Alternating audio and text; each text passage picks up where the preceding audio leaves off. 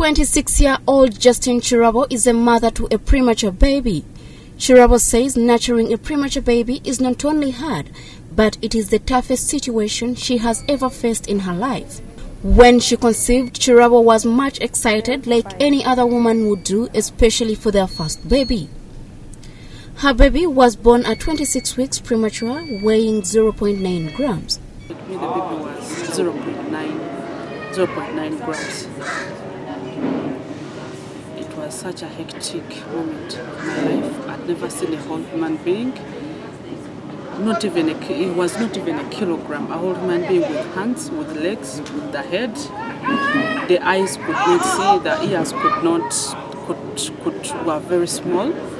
The baby was all just like bones. Even the bones almost were not there. Uh, we went in nursery, was on CPAP. CPAP is oxygen, these big oxygens. They put him on CPAP.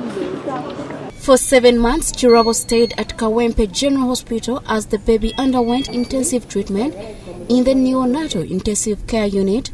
She recalls the baby used to black out, and one day they literally prepared for his burial. As I was giving the 10 meals, the milk went to the lungs. The baby died almost. He became blue, he stopped breathing, he blacked out. Remember, I used to black out when he was still very young. He used to black out, black out, black out. His dad was like, he used to even prepare the car for to go for funerals. But he would come up. But this time he completely blacked out. He became blue. He turned the color. The, the tongue came out. So I was like, but you know what? All we take him back to the instead was I was I was like maybe we just wrap him up and go for burials. Then the dad was like, ah, let, let us just what try. Chirabo's baby has, however, managed to fight all odds and survived. He is now a healthy nine months baby. He said the baby must come out as soon as we can. Either we may lose the baby or the mother. So the doctors did what they could. They removed the baby after 30 minutes. That was under the supervision of Dr. Mugalu, uh, one of the specialists in Uganda. And uh, after that, uh, they admitted her in the ward. The baby had to be taken to the incubator since the baby was not breathing uh, well. We normally touch those who are above one kilogram. Those can survive, but below one kilogram suffer complications of breathing, digestion, jaundice, and most of them have died before. And severe respiratory failure, they suffer breathing problems and they end up dying.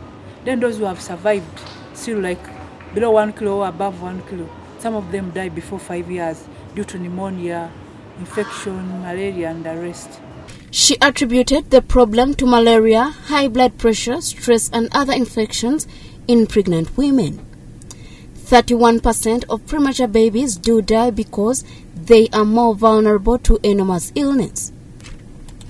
She called for the rolling out of a kangaroo mother care method since it is the most effective and cheap way to help preterm babies to grow. The main celebrations for the Prematurity Day in the country have been held in Arua district under the global theme of working together, partnering with families in the care of a small and sick newborns.